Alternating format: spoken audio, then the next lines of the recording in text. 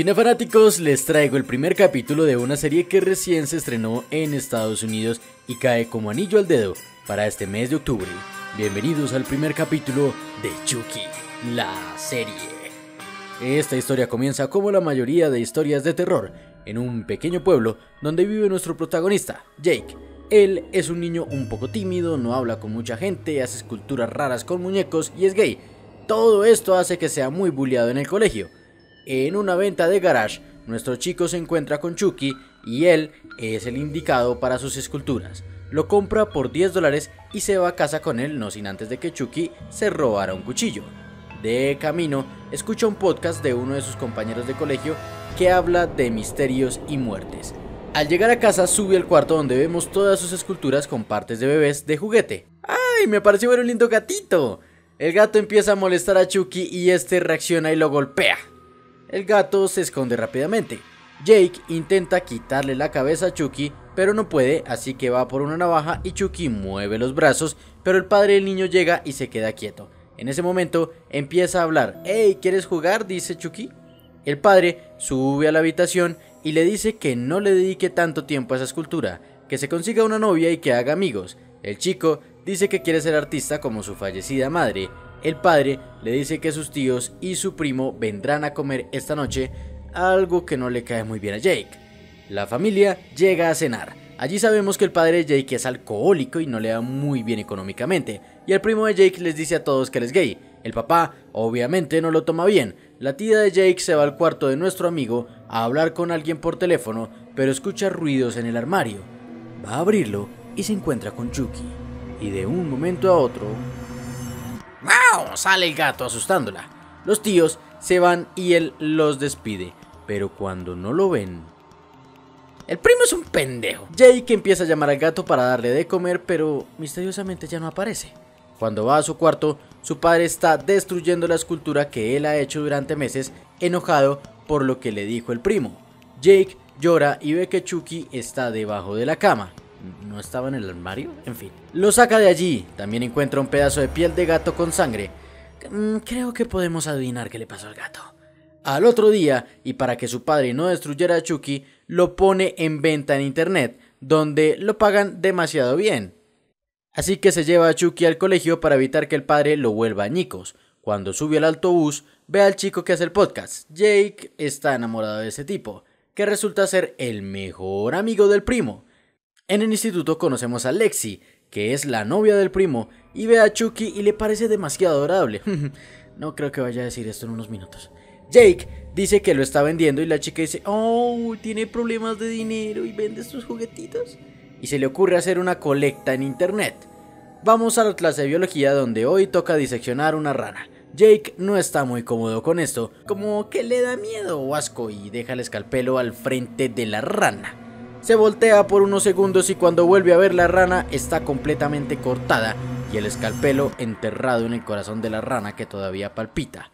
Parece que Chucky sí quería hacer la tarea. Los teléfonos de toda clase suenan. Es la colecta que está haciendo la novia del primo. Ha ventilado su falta de dinero y humillado a Jake frente a todos sus compañeros. Al salir del laboratorio, Oliver, un compañero de él, lo empuja. El chico le pide a la profesora que le guarde el muñeco hasta que lo venda ya que en su casillero no cabe y ella acepta. Salen todos del laboratorio, pero cuando va a salir la chica fresa de Lexi, la profesora le dice que se quede allí, pues ella sabe que fue ella quien creó la colecta para humillar a Jake. Ella deja el muñeco en un escritorio y le dice a la fresa que baje sí o sí eso de internet. La chica le responde de forma grosera y la maestra va por la directora y la deja sola. Sola con Chucky quien se baja del escritorio y asusta a la chica, quien tira su celular al suelo. Chucky está parado en la puerta, la mira y parpadea como si fuese un humano. La chica está aterrada y justo ahí entra la profesora y la chica fresa aprovecha para salir huyendo de ahí y deja su celular tirado. La maestra guarda a Chucky en un armario con llave totalmente cerrado. En la noche, Jake está en casa, un tipo lo llama por el anuncio de venta del muñeco. Cuando Jake contesta, el tipo le dice que tenga cuidado con el muñeco, que en realidad se llama Charles Lee Ray. Ese muñeco es algo malo.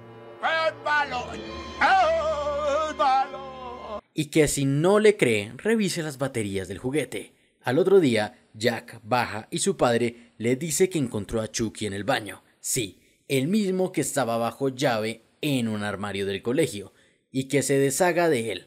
Jake recuerda la llamada, va a ver las baterías y resulta que no tiene. Es ahí cuando Jake nota algo raro y lo tira a la basura. Ay, Jake, lo han enterrado incluso y aún así regresa. Nuestro prota está en el auditorio del colegio donde hacen un concurso de talentos. La chica fresa es la presentadora y aprovecha para seguir humillando a Jake, cuando una voz dice, ¡Hey Lexi! ¡Métete con alguien de tu tamaño! Y no es nada más ni nada menos que Chucky sentado atrás de Jake, quien lo toma y Chucky le dice que lo use como si fuera un muñeco de ventrilogía y se vaya al frente del escenario y participe en el concurso de talentos. El chico le hace caso sin más que huevos tiene este tipo. Aquí quiero hacer un apunte. ¿Se han dado cuenta de que en estas escenas de multitudes es cada vez más obvio que multiplican gente? O sea, ya no trabajan tanto. En fin, Chucky empieza a hablar. Al principio hace chistes, pero luego saca el teléfono de Lexi. Cuando ella va por él, Chucky la asusta y dice que hay muchas fotos de Junior, que es el primo de Jake, pero también hay muchas fotos de Oliver, el odioso que empujó a, Jake en el laboratorio. Qué chica tan traviesa. Chucky le dice que todos tienen secretos, como la tía de Jake, pero no dice cuál. También revela lo que Lexi, la chica fresa, busca en internet. Todos ríen y creen que es Jake el que habla. Cuando el chico llega a la casa, el papá sigue bebiendo como de costumbre y le dice que lo han sancionado del colegio por el show que hizo y lo golpea. De lo ebrio y enfadado que está, dice que no lo avergüence otra vez o lo matará. Luego le quita a Chucky y lo deja al lado de la lámpara. Cuando vuelve ya no está y se ha tomado todo el whisky del papá de Jake borracho en Chucky. Falla la luz y el padre va al sótano a revisar. Empieza a subir los switch, interruptores, bueno no sé cómo lo digan en su país, aquí en Colombia le decimos los tacos de la luz. Y cuando la electricidad vuelve, Chucky escupe el licor que había bebido en los pies del padre. El muñeco había montado una trampa y el padre empieza a electrocutarse. Jake baja al sótano solo para ver cómo se fríe su padre de la manera más cruel e inhumana sin que él pueda hacer nada. La policía llega y se llevan el cuerpo. Le dicen que ahora va a quedar bajo la responsabilidad de sus tíos, así que se lleva a Chucky a su nueva casa, donde vive el primo pendejo ese.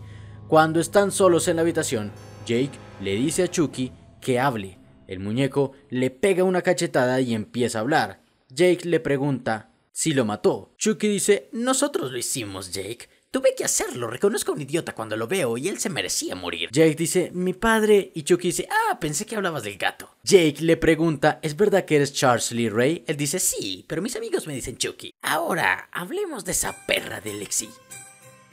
Y así termina este capítulo, el primero de Chucky. Si te gustó, déjamelo saber con un like. Cada miércoles amaneceremos con un nuevo capítulo de esta serie. Aquí te dejo el botón para que te suscribas si eres nuevo en el canal. Bienvenido. Mi nombre es Alejandro Solans y nos vemos en el próximo resumen.